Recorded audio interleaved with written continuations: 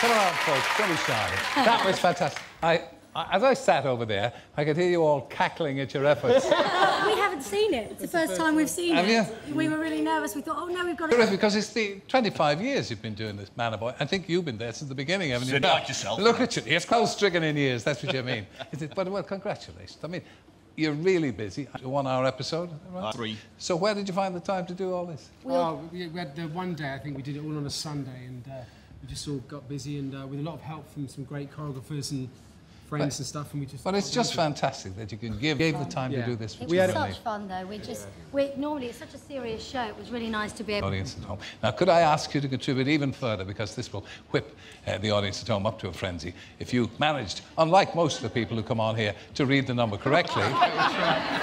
if I could ask you to, just all together, please, now on one, two, three, and.